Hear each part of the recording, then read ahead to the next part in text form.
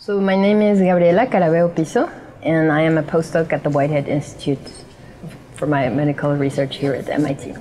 My research has to do with studying the role of alpha-synuclein. Uh, alpha-synuclein is a protein that plays a very important role in a group of neurological diseases for which Parkinson's is the most common. So I am actually Mexican.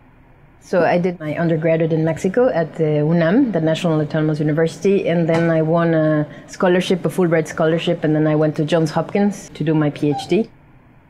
I was always fascinated by the way the, the human body worked. Susan, who's the my boss, is the head of this laboratory. She went to give a talk at Hopkins, and I and I got very inspired to for what she was doing, and then that's why I decided to to come here to do my postdoc. But the one day that you get a breakthrough, like this breakthrough, and then this light is enough, it causes enough adrenaline to get you going, because it's like so fascinating once you have, you know, find something.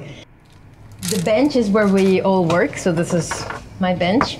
It's a bit chaotic at times, but within my own chaos, like I know where, where I'm standing. But so people typically work here, and then the common stations would be the tissue culture room.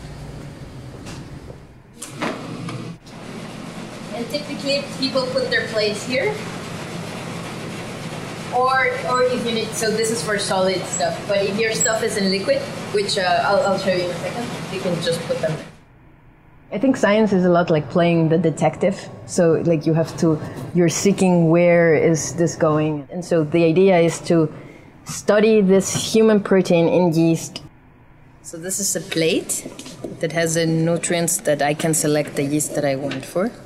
Each each dot is a colony. What I'll do is I'll take three of them and then restreak them in, in an empty plate.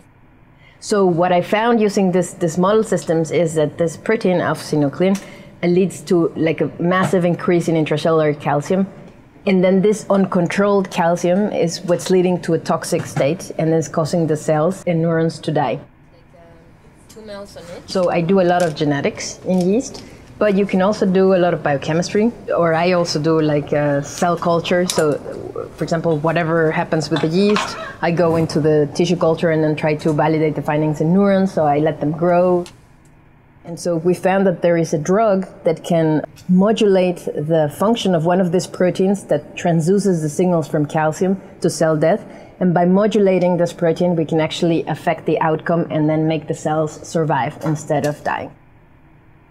I mean, the idea is not that there's going to be a cure, but at least it's going to prevent further deterioration. If that helps, then I can, you know, it's like I achieved my, my little uh, grain of salt, I guess, in humanity. But so that, that would be the dream, right? That, that, that my findings actually can really carry out in the clinic and help patients actually with this devastating diseases. Science is in fact like a very creative process. I mean, we have standard tools, but it's the way you at a problem and the way you tackle it that it's it makes it really I'm going to use this word so much fun. And it gives you this really rewarding thing is that if you find something it's it's, it's like you can contribute like very big to to essentially humankind.